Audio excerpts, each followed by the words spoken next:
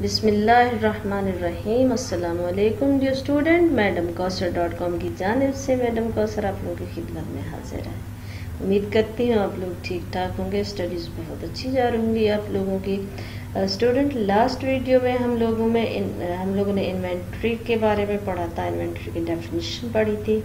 आज हम inventory management के बारे में पढ़ते हैं। सबसे पहले ये जानते हैं कि इन्वेंट्री क्या होती है।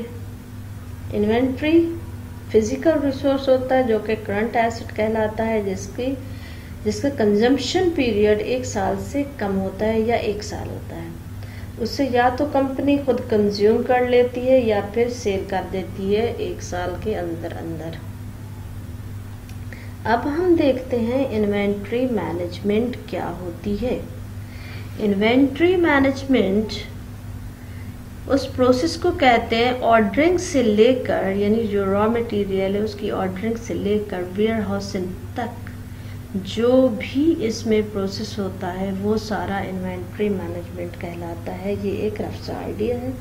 इसमें रॉ मटेरियल की परचेजिंग होती है, उसकी कास्टिंग होती है, फिर इसमें शामिल होता है उसका प्रोसीजर जो कि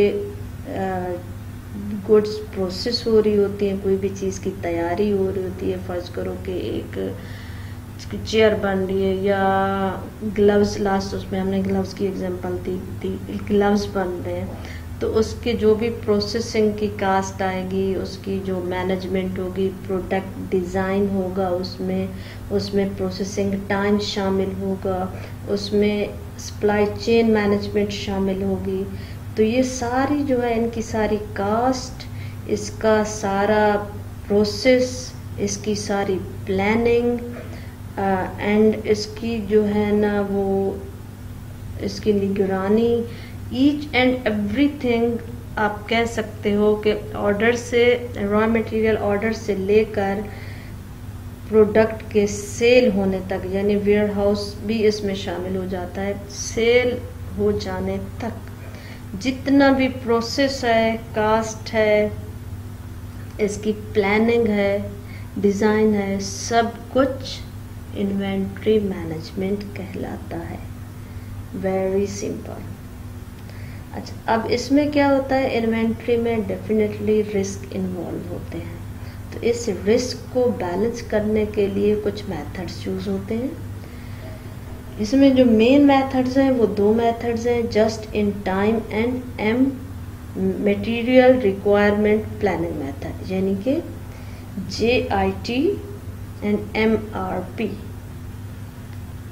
ये दो मेथड्स यूज़ करके कंपनीज़ जो होती हैं, वो जो इसमें रिस्क होता है इन्वेंट्री में जो रिस्क होता है, उसको बैलेंस करती हैं और रिस्क फैक्टर्स को कम से कम किया जाता है, यानी कि इसकी जो वेस्टेज ना हो जो प्रोडक्ट ख़राब ना हो, या फिर ये कि लॉस ना हो, जो भी मतलब इसमें रिस्क में जो जो मतलब ख़तरात कंपनी को दिख रहे होते हैं, हो सकते हैं, या जो नुकसान हो जाता है, ये सारी चीज़ें इनको मैनेज करने के लिए ये M R P and J I T method use करते हैं ताकि ये रिस्क को कम से कम किया जा सके और नुकसान से बचा जा सके। इस इन्वेंट्री को रिकॉर्ड करने के लिए, अकाउंटिंग सिस्टम में लाने के लिए तीन मेथड्स यूज़ होते हैं। उसमें फीफो है, लीफो है एंड वेटेड एवरेज मेथड है। अब फीफो मेथड में क्या होता है? फीफो में हमने लास्ट टाइम भी एक हल्का सा इसका इंट्रो देखा था। डिटेल में हम नेक्स्ट वीडियो में इसको जो है ना, पूरा इसका, इसकी एंट्रीज भी करेंगे और इसका पूरा चार्ट बनाएँगे।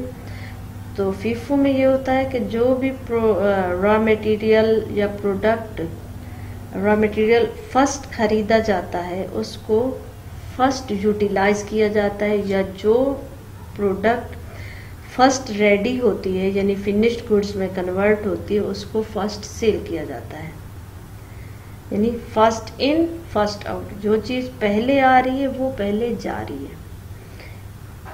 एंड लीफो मेथड में क्या होता है? इसमें जो होता है कि जो रॉ मटेरियल लास्ट में ख़रीदा जाता है या जो प्रोडक्ट लास्ट में रेडी होती है, उसको फ़र्स्ट में निकाला जाता है। यानी जो आखिर में तैयार हो रही है या आखिर में रॉ मटेरियल आ रहा है, उसको पहले बेचा जा रहा है। एंड जो वेटेड एवरेज मेथड है, उसमें क्या होता है? उसमें एक एवरेज तमाम मटेरियल्स की या गुड्स की एवरेज निकाल दी जाती है और फिर उसको उस तरह से सेल किया जाता है या यूटिलाइज किया जाता है। तो स्टूडेंट्स ये हमारी आज की छोटी सी वीडियो है। इसमें हम लोगों ने मैनेजमेंट के बारे में पढ़ा है। तो उम्मीद करती हूँ आप लोगों को पसंद आई होगी। अगर अच्छी लगे, कुछ सीखने का मौका मिले तो प्लीज़ प्लीज़ प्लीज़ लाइक ज़रूर कीजिएगा शेयर कीजिएगा अपने दोस्तों में, अपने जानने वालों में, ताकि उनको भी कुछ थोड़ा बहुत फ़ायदा हो जाए। मेरा मकसद आप लोगों को फ़ायदा पहुंचाना है, आप दूसरों को फ़ायदा पहुंचाइए। जुड़े रहिए मेरे चैनल के साथ। मिलते हैं नेक्स्ट वीडियो में, तब तक के लिए टेक केयर अपना बहुत ख्याल रखिएगा बाय बाय